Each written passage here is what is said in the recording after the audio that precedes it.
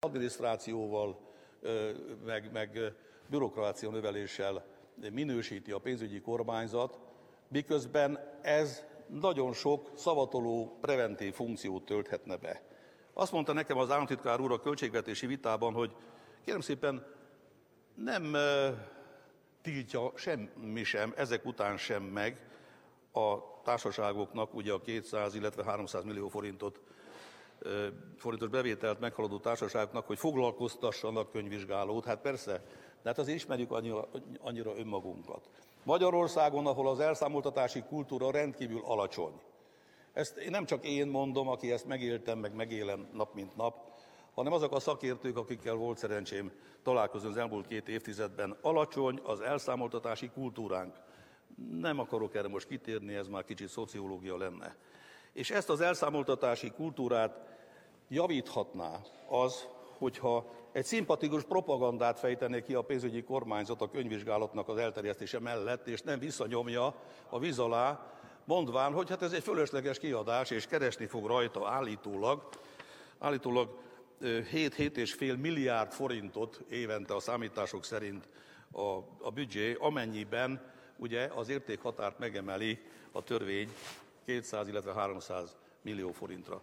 Csak hogy azzal nem számol a törvényalkotó, illetve a jogszabályalkotó, hogy mit veszítünk. Hogy mit veszítünk a réven, és mit nyerünk a vámon. Lehet, hogy egyik, egyik oldalon ezek a számok megvalósulnak, mert a, a, a tulajdonosnak vagy a, a, a vállalkozónak nem, nem kell úgymond kötelezően megbízni könyvvizsgálót, megspórolja ezt a díjat, ezt a pár százezer forintot per év. A másik oldalon viszont garantálhatóan nőni fognak a hibás beszámolók, az adórövidítések és a szándékos vagy véletlen, ugye a mismanagement meg a, meg, a, meg, a, meg a csalás keveréke, hogy megpróbálom, hát ha nem veszik észre. Tehát nekem az a meggyőződésem, hogy többet veszítenek a réve, mint amit nyernek a vámon 7-8 milliárd forintért cserébe. A másik probléma, ami talán ennél is fájdalmasabb, hogy mi lesz azokkal a könyvvizsgálókkal, akik piacot veszítenek. A könyvvizsgálói kamarának 3,5-4 ezer tagja van. Becslések szerint itt egy 30-tól 50 százalékig terjedő piacvesztés következhet be. Természetesen az egyéni könyvvizsgálók, akikről az államtitkár úr beszélt, és a kis könyvvizsgáló cégek fognak piac nélkül maradni. A Big Four, a Big Four nem fog piac nélkül maradni, mert a nagy halakat ők úgyis begyűjtik. A nagy magyar cégeknek a Big Four a könyvvizsgálója, tehát ők vidáman, vidáman érthetnek esetleg egyet ezzel a, a döntéssel, és, és nyilvánvaló, hogy a kis vállalkozói formában működő, vagy egyéni könyvvizsgálóként működő hazai könyvvizsgálóknak az érdekérvényesítő képessége nincs olyan szinten, mint mondjuk a rendvédelmi dolgozóké vagy a mozdonyvezetőké. Nem tudják ezeket megjeleníteni. Én vagyok itt kénytelen, bár nekem ezért nem fizet senki sem, csak a szakmai tisztesség mondatja velem, hogy nem gondolták végig, hogy mi lesz több száz könyvvizsgálóval. Mit fognak csinálni? Nyugdíjba mennek, vagy alacsonyabb rendű munkát fognak végezni, elmennek mondjuk könyvelőnek, ha el tudnak menni, ha csak arra is rá nem húzzák azt a minősítést, hogy bürokrácia csökkenés. Kérem, a bürokrácia az, az van, az létezik kell. A jó bürokrácia, a, a jó hivatali munka nélkül az állam nem tud működni. Mert a bürokrácia az nem egy pejoratív kifejezés csak, ami a magyar köznyelvben kialakult. A bürokrácia az szakszerű, hatékony és gyors. Idézve Max Webernek a bürokrácia definícióját.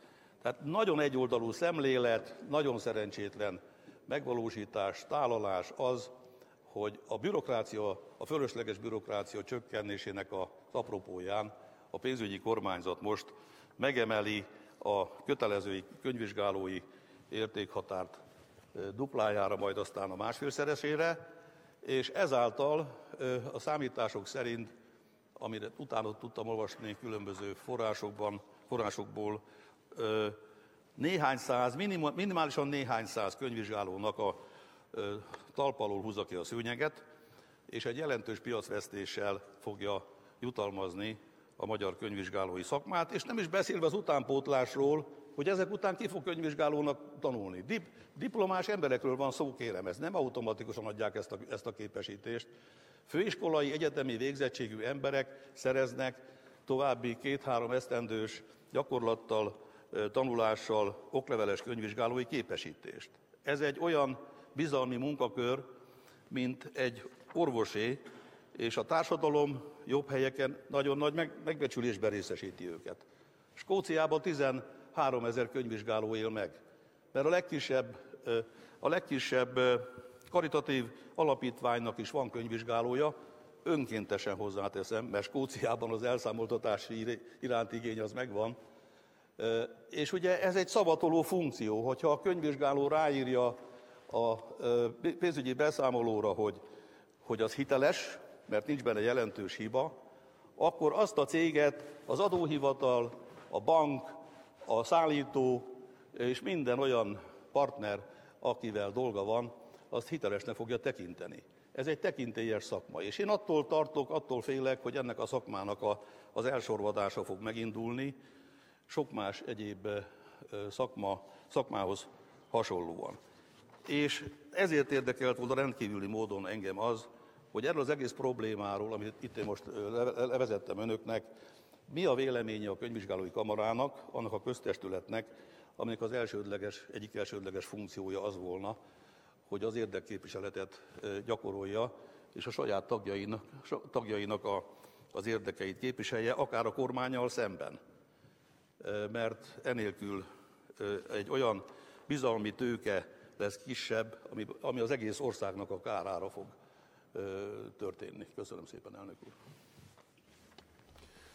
Tisztelt Országgyűlés, a következő felszólaló Sejrin Gábor, az LNP képviselője. Képviselő úr, öné a szó. Köszönöm szépen a lehetőséget, tisztelt képviselőtársaim. Már néhány dolgot elmondtam, de szeretném általában, hogy átfogóan értékelni a törvényt. Bár a beterjesztés tipikusan egy saláta, de alapvetően helyes és támogatandó intézkedéseket tartalmaz. Sajnos van benne néhány olyan rendelkezés, melyel nem tudunk egyetérteni.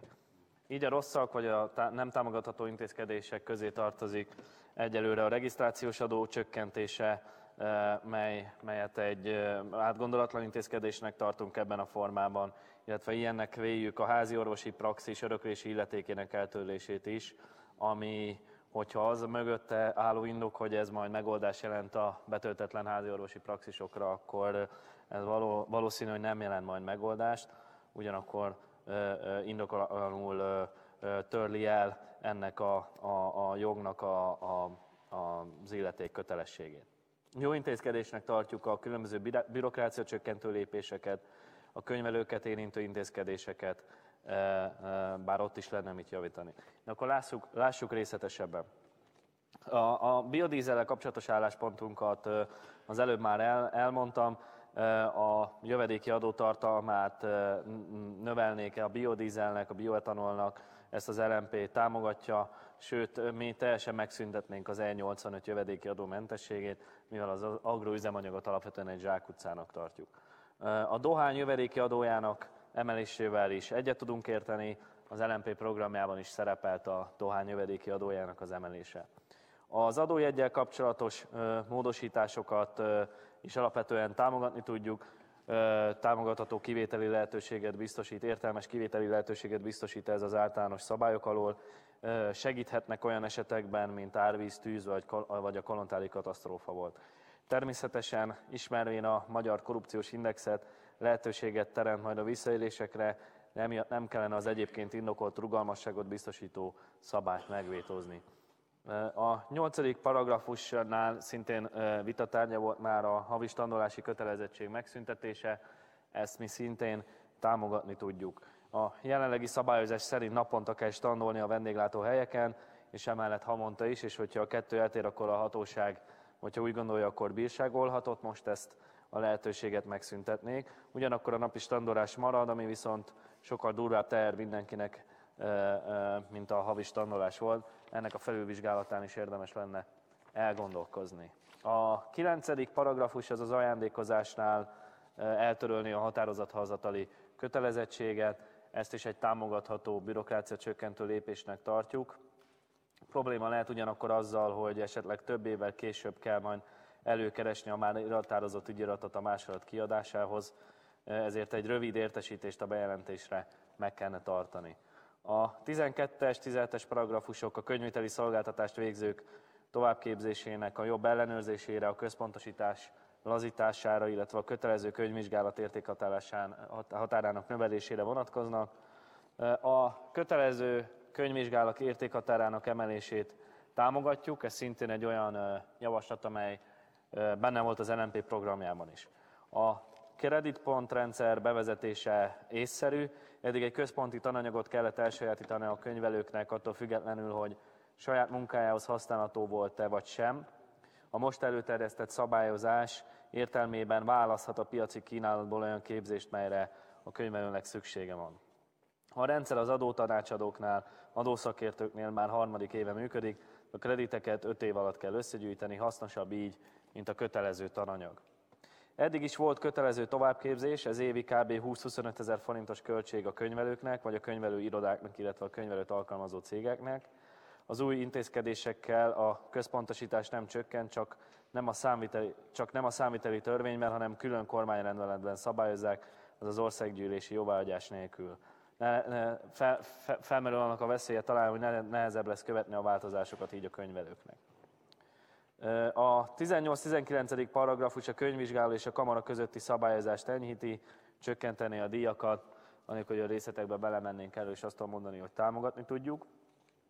A 20. paragrafus a hitelintézetekben a javadalmazási, javadalmazási bizottságot állítana föl, ezt is egy indokolt és üdvözlendő lépésnek tartjuk. Azt a célt szolgálja, hogy a hitelintézeti dolgozók javadalmazását ne pusztán a sikerdíj alapján ítéljék oda, hanem azt is figyelembe vegyék, hogy milyen kockázati ügyleteket találtak ki és értékesítettek. Ezzel talán egy kicsit vissza lehet fogni a felelőtlen profit hajhászást, és a távolabbi hatások is értékelésre kerülnek a hitelintézeti alkalmazottak jutalmának meghozatalakor. Ezt egy olyan intézkedések, egy olyan lépésnek tartjuk, amelyet már nagyon régóta követelünk, mint LMP a frakción belülről is, annó még a parlamenten kívülről is, sőt, ezt még jó magam mindenféle civil szervezetek és mozgalmak tagjaként már elészen régóta követeltem, követeltük már több alkalommal is. A 21. paragrafus lényegében technikai támogatható módosítás.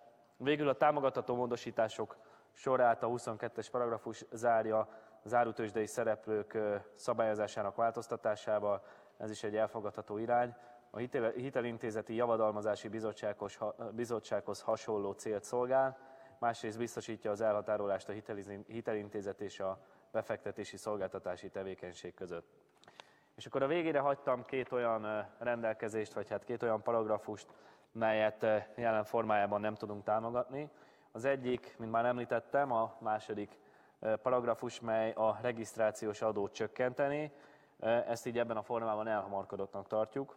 Az LNP szerint ugyanis nem a részletek módosítgatására, hanem a regisztrációs adó teljes eltörlésére lenne szükség, helyette pedig be kellene vezetni egy olyan gépjármű adót, ami ugyanakkor a költségvetési bevételt hoz, mint a regisztrációs adó, és főleg a környezetvédelmi teljesítmény, azaz a fogyasztás, illetve a károsanyag kibocsátás alapján terheli a gépjárműveket. Ráadásul a regisztrációs adó ilyen kis csökkentésének nem nagyon lesz jelentős hatása, maximum a roncsautó importot fogja növelni, ami nem kívánatos sem gazdasági, sem környezetvédelmi hatás szempontból, tehát az intézkedést ebben a formájában nem tudjuk támogatni. A másik pedig, mint szintén a bevezetőben említettem, az az önálló orvosi tevékenység folytatásának kivétele az örökösödési illeték hatája alól. Nem tudjuk támogatni. Ez egy olyan személyhez fűződő jog, ami üzletszerű, jövedelemtermelő tevékenységre jogosít, és eh, nem látjuk, hogy mi indokolná azt, hogy mint ilyen üzletszerű tevékenységet, jogosító jogot kivegyenek az illeték kötelezettség alól. Nem látjuk, hogy hogyan lehetne, ez párhuzamba, hogyan lehetne ezt párhuzamba állítani a leszármazottak számára örökrészként járó 20 millió forintig járó illetékmentességgel. Ha mindenképpen bele akarnák számolni az örökségbe, illetve úgy akarják tekinteni, mint az örökrész egy részét, akkor az értékét is számolják bele, és ha az örök rész meghaladja a 20 millió forintot, akkor az illetékfizetési kötelezettség viszont maradjon fenn. Ha egyébként az örökös által öröklött része 20 millió forintot nem haladja meg, akkor pedig legyen illetékmentes. Érteni véljük a szándékot, hogy a házi orvosok növekvő hiányát próbálják meg talán ezzel orvosolni, de ez így ebben a formában csak pótcselekvés, és még csak szépség tavasznak is nehezen nevezhető.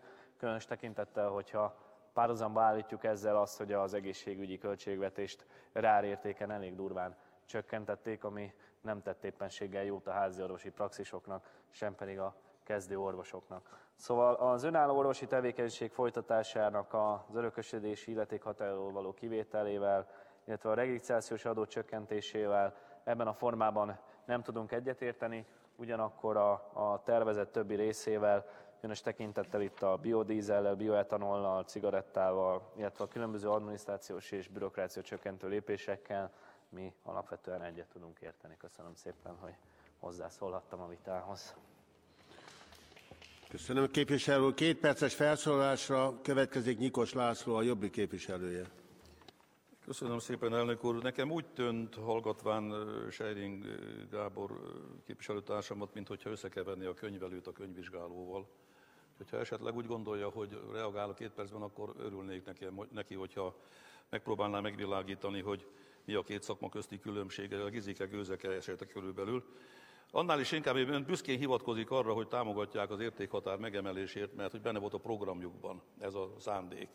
Kérem, akkor megkérdezem, hogy kiszámolták, hogy ez mit jelent, mennyi munkahely elvesztését jelenti? Körülbelül, körülbelül 24 ezer 24 ezer cég számára szűnik meg a kötelező könyvvizsgáló foglalkoztatás. Tudja, hogy 24 ezer cég, ha nem fog könyvvizsgálót foglalkoztatni, akkor hány könyvvizsgáló marad munka nélkül? Kérem, hogy hegykén beszél a programjukról, meg ilyen, ilyen büszkén támogatja ezt a, ezt a szándékát a kormánynak. Én ezt tudomásul veszem természetesen, de nem árt, hogyha a szakmai összefüggésekkel is tisztában van valaki. Köszönöm szépen, elnök úr. Szintén két perces felszólalása következik Dancsó József, a Fidesz képviselője. Köszönöm a szót, elnök úr, tisztelt képviselőtársaim. Ugye, Volner képviselő az előbb azt mondta el nagy büszkén, hogy ők EU-szkeptikus párt. Ezt vegye tudomásul mindenki. Furcsa volt hallani ugyanezt gyakorlatilag Sejrin Gábor képviselőtársam szájából is, hiszen elmondta, hogy ők a regisztrációs adó módosítását nem támogatják. Holott valamelyik hozzászólásomban elmondtam, hogy ez egy kötelezettségszegési eljárás van folyamatban az Európai Unió részéről 2005 óta, tehát gyakorlatilag az Európai Unió által elfogadott vagy ránk testelt feladatokat kell megoldanunk, úgyhogy ez a kötelezettségszegési eljárás ez megszűnjön. Tehát amikor arra beszél képviselőtársam, hogy ez így nem jó, úgy nem jó, meg így el kellene törölni, meg úgy el kellene törölni, akkor gyakorlatilag az Európai Uniós szabályok ellen szól. Tehát ezért mondom azt, hogy úgy látom most már két EU szkeptikus párt is ül akkor ezek szerint a parlamentben, a Jobbik és az LNP is. Tehát úgy gondolom, hogy a felszólalása kapcsán ezt, ez a végig kellene gondolnia, hogy amikor a regisztrációs adó ilyetén történő módosítása ellen szól, hogy akkor gyakorlatilag mi ellen is, ki ellen is tette meg ezt a felszólalását. Tehát vagy a szakmai felkészül csapat nem állt a helyzet magaslatán, amikor ezt a szöveget leírták önnek, és elmondották önnek, és erre nem figyeltek, vagy pedig egészen más megfontolások hozták ezt a hozzászólást önből, de szeretném még egyszer hangsúlyozni, hogy 2005 óta ilyen problémával küzdködünk. Ezt most ezzel reményénk szerint sikerül megoldani, és a kötelezettségszegési eljárás meg fog szűnni Magyarország ellen, és úgy gondolom, hogy ez igen fontos elvárás valamennyiünk számára. A következő felszólaló Göndör István, az MSZP képviselője. Képviselő úr. Köszönöm szépen a szót, tisztelt elnök úr, tisztelt képviselőtársaim. Én már arra nem vesztegetnék hosszú időt, hogy saláta törvény, mert ezt elmondták előtte mások. Én viszont ennyit tennék hozzá, hogy ez a saláta törvény újra része a Fidesz PR kormányzásának. És az eddigi vita is azt mutatja, hogy nagyon szépen szőtek össze pozitív elemeket a pénzbehajtással, a megszorító intézkedésekkel, és a kormánypárti képviselők csak ezekről a pozitív dolgokról beszélnek, mint például adminisztráció csökkentés, és eközben mélyen hallgatnak arról, hogy ez mit jelent a piaci viszonyokban, és mit jelent foglalkoztatásban, és sok minden más kérdésben. Ezek közül szeretnék néhányat kiemelni, különös tekintettel arra, hogy a szocialista frakció pont ezért nem támogatja ezt a törvényjavaslatot, mert azt valljuk, hogy azok a kedvezmények, amelyeket biztosítanak, amelyekről Cséfalvai államtitkár úr az expoziában beszélt, és hatalmas százmilliárdos összegekről beszélt, azt mi nem látjuk, hogy a kettő egymással bármi nemű összhangba lenne. A regisztrációs adóról, úgy, ahogy Dancsó képviselő úr elmondta, és ennyiben korrekt, hogy az előző években évről évre szenvedtünk és kínlódtunk azzal minden alkalommal az adótörvényeknél, hogy milyen legyen a regisztrációs adó rendszere, és amiről Sejring Gábor beszél, ugyan ő azt mondja, hogy valamilyen más adó legyen, de képviselő úr, a mi gondunk mindig az volt, hogy az avultatás mértékének rosszul való meghatározása, ilyen, ilyen nagyon nehézkesen fogalmazva, ez azért magában hordozza azt, hogy a mm, autók életkora az eltolódik a magas életkor felé, ami viszont önmagával hozza a környezetkárosítást, és most is nekünk inkább egy ilyen félelmünk van, hogy ez a felgyorsított avultatás, ez abba az irányba mutat, tehát azzal, hogy 15 éves korára eléri a 90%-os mértéket, hogy ez abba az irányba mutat, hogy a öreg használt autók kereskedelme élénkülni fog. Jövedéki adó. És itt érhető legelőször tetten, nem csak ö, szóban, mert ennyiben korrekt volt Cséfalvai államtitkár úr, aki Kerek Perec elmondta, hogy ö, gyorsan kell, árbevétel kiesést pótolni kell, tehát azt hiszem, úgy, ahogy az általános indoklásban is írva van, hogy mégiscsak igaz, hogy az a nagy dérrel durral beharangozott 2011. évi költségvetés az bizony már január-februárban összeomlott, és már egyértelmű. Tehát egymást követik azok az intézkedések, amelyek vagy kiadásokat faragnak le, és ezeket gyönyörűen meg lehetett spórolni. A költségvetési vitában nem kellett róla beszélni, ez csak így utólag, csendben, fű alatt rátolták a magyar emberekre, vagy valamilyen formában pénzt hajtanak be, újabb adókat vetnek ki, és szednek be. Tehát itt most már nem is rejtette véka alá az államtitkár úr sem, hogy az árbevétel kiesést pótolni kell, a negatív piaci hatásokat pótolni kell. Egy roppant érdekes, azért én úgy zárójelben megjegyezném, hogy a rendkívül magas üzemanyagár miatti bevételi többletről vajon miért nem beszélnek? Miért mindig csak arról, ami valamilyen piaci viszonyok miatt megváltozik és negatív irányba változik? Tehát ez mutatja azt, hogy bizony a bevételeket alaposan túltervezték, és most kísérletet tesznek arra, hogy ezt megoldják. A jövedéki adó kérdésben ö, itt a két dolog, amiben ö, többszörösen egymásnak feszülünk, mert mi is azt valljuk jelen helyzetben, jelen esetben, hogy az E85-ös üzemanyagokra kivetett ö, új adó, vagy többletadó, ez foglalkoztatási ö, problémákat is magába hordoz, gondolok a termelőkre, a feldolgozóiparban dolgozókra, tehát ez is egy kérdés.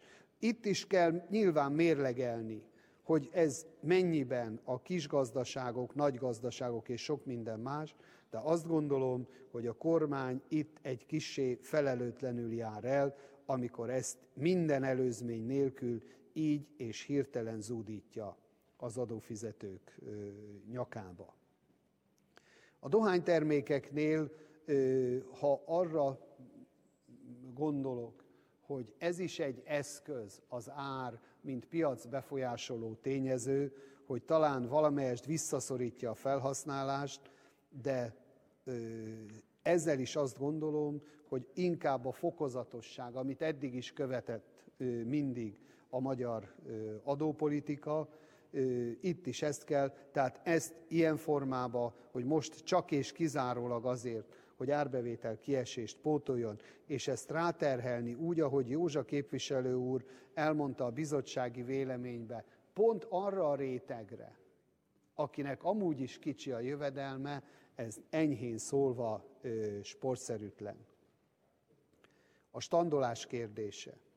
Tehát itt kezdődnek azok az események, hogy egyik oldalon többletteher, a másik oldalon valamilyen adminisztrációs csökkentésnek beharangozott például standolás elengedése, de engedjenek meg nekem egy nagyon rövid, tömör kérdést.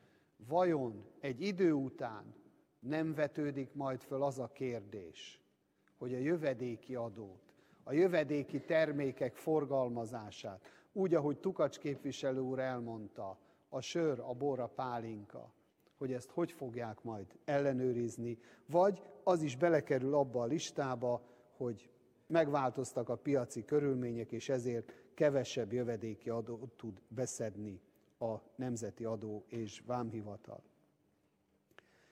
Az illetékeknél, igen, mi is támogatjuk, mi is egyetértünk abban, hogy nem kell, hogy határozatot hozzon olyan esetekbe az adó és vámhivatal, amikor öröklési illeték ügyben mentesség van.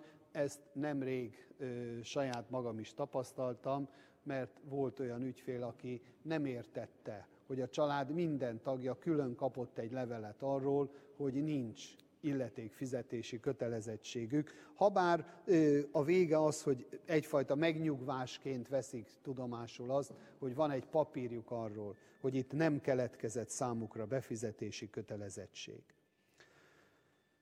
Az önálló orvosi tevékenységnél itt, ami a nagyon lényeges kételj számunkra, hogy vajon mit próbálnak letakarni ezzel a mm, látszólagos kedvezménnyel, hogy nem kell, vagy kiemelik az öröklési illeték alól. Nagy valószínűséggel az egészségügyi saláta törvényben megfogalmazottakat, tehát miközben ott az orvosokra többlet feladatot rónak, mindenféle anyagi támogatás nélkül, akkor itt most tesznek egy ilyen kísérletet. Ez félelmetesen hasonlít képviselőtársaim arra, amikor a patika, patika, bocsánat, a praxis jogot kapták, és akkor is hónapokig ment vita arról, hogy mi lesz, hogy lesz, és ennek mi lesz a következménye. Ennek a negatív hatásait ma már lehet látni az házi orvosi ellátási rendszerben. Bocsánatot kérek egy pillanat türelmet. Tehát lehet, hogy ezt a kérdést remélik, hogy valamennyiben orvosolja ez az illetékmentesség, nem hiszem. A következő, ami nagyon súlyos kérdés, azt gondolom, és próbálták néhányan ezt bagatelizálni, én mélységesen Nyikos képviselő úrral értek egyet, de úgy látszik, hogy köztünk a szakmánkhoz, a tanult szakmánkhoz való ragaszkodás és az abban szerzett tapasztalat ö, többször visz bennünket azonos platformra. Képviselőtársaim, ha valaki foglalkozik ezzel a kérdéssel, akkor egyrészt lehet látni, hogy nagyon sok és hihetetlenül rossz minőségben végzett könyvelői tevékenység van, tehát ez okoz adóellenőrzés és sok minden más problémát, tehát ennyiben támogatható az, hogy maguk a mérlegképes könyvelők is bizonyos tanfolyamokon, kreditpontokon keresztül ö, bizonyságot adjanak arról, hogy korszerű ismereteket szereztek, de itt is meg kell jegyezni, azok a változások, amelyek ezekben a saláta törvényekben itt-ott el vannak dugva. Mérlegképes könyvelő legyen a talpán, vagy adószakértő, aki ezeket folyamatosan nyomon tudja követni